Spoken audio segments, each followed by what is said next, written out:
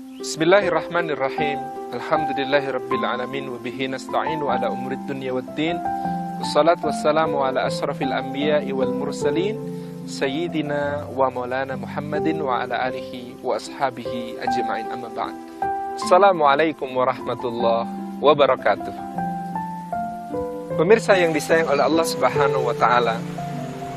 Allah Azza wa Jalla menjamin rizki bagi setiap makhluknya. Dia katakan wa ma min dabbatin fil ardi illa 'alallahi rizquha. Tidak ada yang melata di muka bumi melainkan Allah Subhanahu wa taala yang menjamin rizkinya, menjadi tanggungan dia rizki dan penghidupannya. Maka kalau kita kemudian di dalam kehidupan dunia ini bekerja keras, apa pemaknaannya? Yang pertama, bekerja itu memang ibadah kepada Allah Subhanahu wa taala. Dia rasa syukur kepada Allah Subhanahu wa taala. Dikatakan oleh Allah Azza wa Jalla kepada keluarga Daud alaihi salam, "I'mal ala Daud syukran wa qalilan min ibadiyas syakur." Bekerjalah hai keluarga Daud untuk bersyukur. Sesungguhnya sedikit sekali di antara hamba-hambaku yang pandai bersyukur. Inilah makna syukur itu sebagaimana Daud alaihissalam mempergunakan tangannya untuk membuat baju besi-baju besi yang dengan baju besi itu yang kemudian dijual dia memenuhi nafkah keluarganya. Pertama-tama bekerja adalah bersyukur kepada Allah, maka di situ ada ihsan, di situ ada itqan.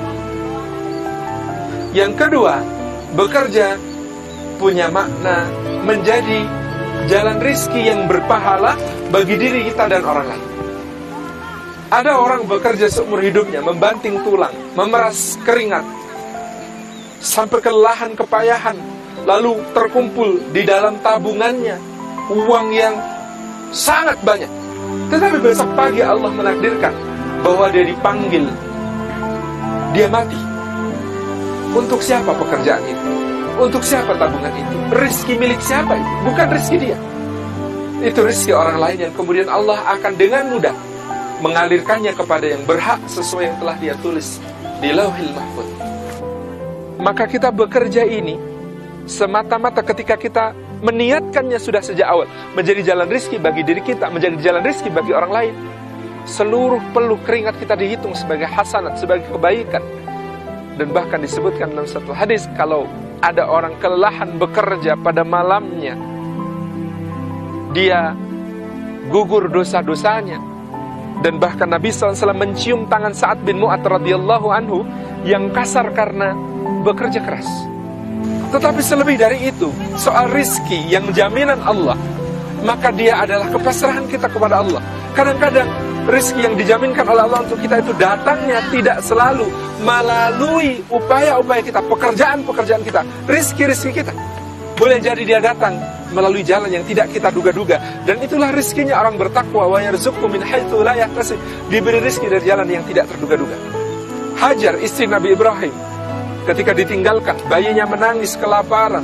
Ketika dia ditinggalkan habis bekalnya dia berlari naik ke bukit Safa menuju ke Marwa melihat ke atas adakah orang untuk dimintai tolong? Melihat ke bawah adakah air untuk diminum? Balik ke Marwa balik ke Safa balik ke Marwa tujuh kali. Di mana air zam-zamnya muncul di kaki Ismail alaihissalam bukan di dalam upaya-upayanya itu. Orang-orang bertakwa dikarunia Allah. Rizki yang jalannya tidak terduga-duga. Tetapi dia tetap bekerja demi beribadah kepada Allah. Itu semua membuat dia lebih peka untuk bersyukur dan bersabar. Demikian mudah-mudahan bermanfaat. Wallahul muwaffiq ila aqwamit tariq. Assalamualaikum warahmatullahi wabarakatuh